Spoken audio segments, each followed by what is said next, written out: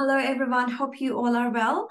My name is Neha from Future Proof Accountants, and today we're going to talk about reporting in Asana. One of the favorite reports um, that I have is upcoming tasks by my team.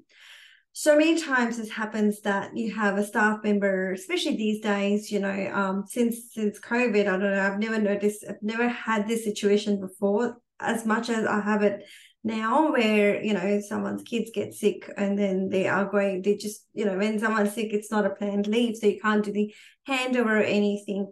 So we recently had a team member whose son got really really sick and they were away for a week. But obviously the work can't stop the work has to keep going.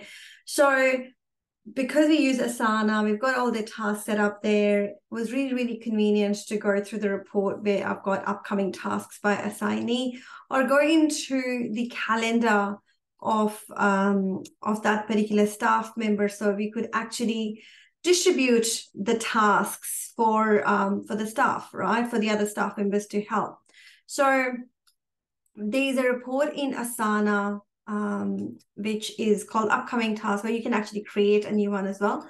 So all it was is like every staff member, I, I know that what are her, like what are Ronlin's upcoming tasks, what are these upcoming tasks. So I can pretty much go in there.